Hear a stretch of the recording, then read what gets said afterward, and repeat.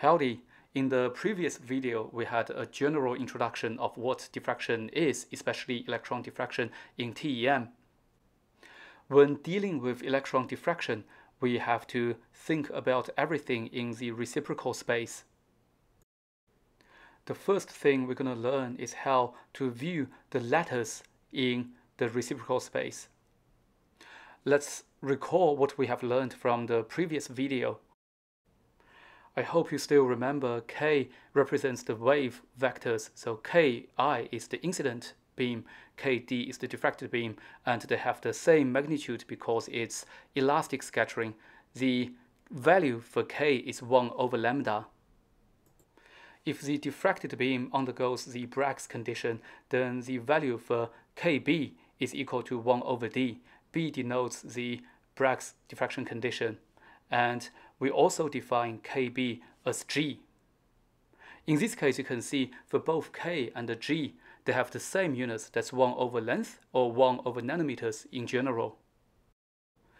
Now let's imagine we have a unit cell in the real space. In the unit cell, the points can be viewed as atoms. However, if you view everything in the eyes of K and G, then you are seeing the world in the reciprocal space in reciprocal space, the points you see in the unit cells or in the lattice, they actually represent a particular set of planes. So what does this mean? Uh, let's quickly look at one example. You see two unit cells. One is made from the solid lines. This is the lattice in or the unit cell in the real space. Each point in this unit cell can be atoms. In contrast, you can see uh, the unit cell made from the dashed lines is the unit cell in reciprocal space. The points represent a set of planes. For example, looking at C star, they represent the plane defined by A and B, which is perpendicular to C star.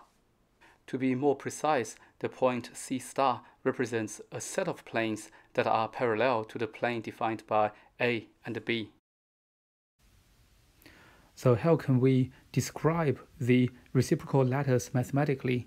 So let's compare what we see in the real space versus what we see in the reciprocal space. So real space here and uh, reciprocal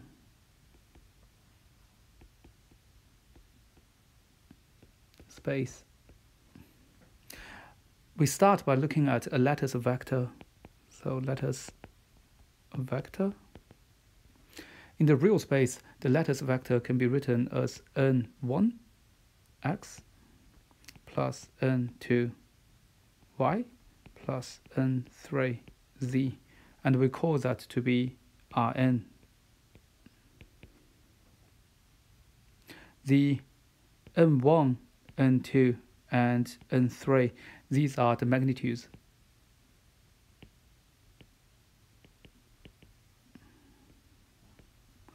well x, y, z, they are directions.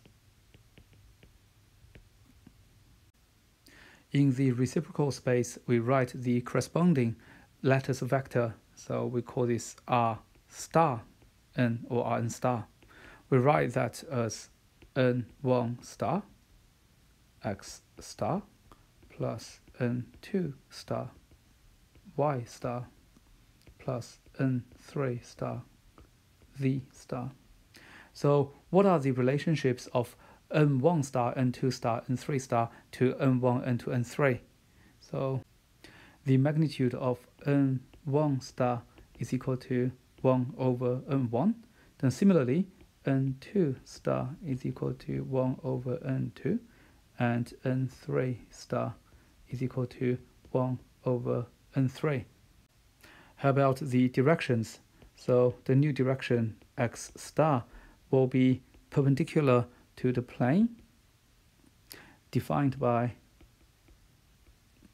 y and z in the real space. So mathematically what we can write down is x star dot y is equal to 0. So the dot product of x star and y is equal to 0. That means these two directions are perpendicular, then x star dot product z is equal to 0. Same principle applies to the y star and the z star. This just writes out the uh, rest of the relationship. There's one note I like to make is that the relationship between the lattice vector in real space and in reciprocal space we have demonstrated here is independent of the coordinate system. The coordinate system can be orthogonal, like 90 degrees away from each other, or non-orthogonal. So what you see here is a tetragonal unit cell uh, or tetragonal lattice in the real space. And we know that x, y, and z, they are 90 degrees apart. So if I write down x, y, and z, they are 90 degrees apart. And for the shorter edge, the length is a. For the longer edge, the length is b. On the right, that's the corresponding tetragonal unit cell or part of the tetragonal lattice in the reciprocal space. So if we look at the magnitude of the three edges, we have 1 over a, 1 over a, and 1 over b. Note that in the real space, a is smaller than b. In the reciprocal space, 1 over a is longer than 1 over b.